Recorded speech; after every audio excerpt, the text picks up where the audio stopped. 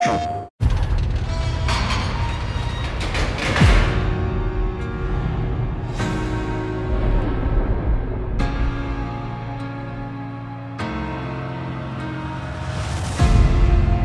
say fear is just a state of mind.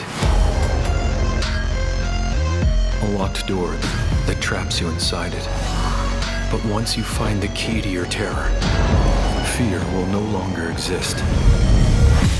What a bunch of bullshit.